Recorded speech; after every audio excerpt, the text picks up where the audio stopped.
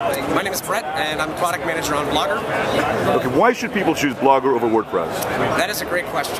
Um, so Blogger is a platform that lets you publish your voice on the web in a very, very easy way. Also made it very powerful platform. So there's lots of advanced features. So right now, um, it's a platform that designers who care about the appearance of their blog um, can feel proud to use. So the sites are look uh, very sophisticated, and they have powerful features that let you track the traffic data, the analytics, um, comment protection, spam controls, all these powerful features that again are very easy to use. So we're catering to people who've never used Blogger before, and we want a very easy uh, way to publish your voice. But at the same time, we have powerful features that will let you, uh, you know, create a good-looking uh, piece of content on the web. So we're easy, we're free, and we're powerful. Is there anything new we should be expecting from Blogger? Yes, that's a good question. So right now we're in the process of overhauling the entire UI. Um, right now the app itself looks a little bit dated, uh, but within the next couple months we'll have a totally new UI. It'll be a code refresh, so it'll be faster, sleeker, more reliable, um, and it'll look like a modern web app. So that's kind of the pitch right there. Okay, anything else you want to say? Um, come by and get a t-shirt at the Blogger booth. We're having a lot of fun with the Twitter. Awesome. Thank you. My name is Jane Wells and I am the user experience lead for WordPress.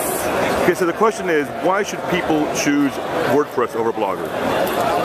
I used to use Blogger. I started out on Blogger, so I sometimes don't say people should. I'm sorry, it's a little loud here. Uh, I they maybe they shouldn't. Uh, if Blogger is doing what they need it to do, then they're happy. Then I think they should stay with it.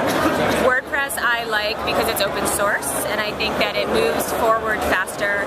There's an amazing community, hundreds of developers working on the code, over 35 million users of the software, and it's being extended in ways we could never have imagined by plugin and theme developers. And so I think that open source really has a lot of benefits when it comes to moving forward with software. That Blogger, even though I think Google is amazing, and I know the original Blogger team and they're amazing, they just can't move at the same speed because they don't have the number of contributors and the that really leads to innovation. And what's in store for WordPress in the future? What's in store for it? Uh, we'll keep making it better and we'll add some more cool stuff. We're going to be doing, I think the next release is going to be mostly performance enhancements and focusing on making it easier to update. Um, at some point we'll be doing an overhaul of the media uploading system.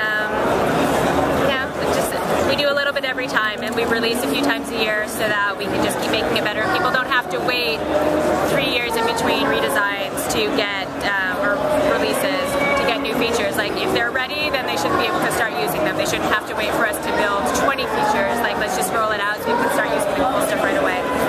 Oh, anything else you want to add? Uh, open source pays. That's it. Well, thank you. Thank you for your time. You're welcome.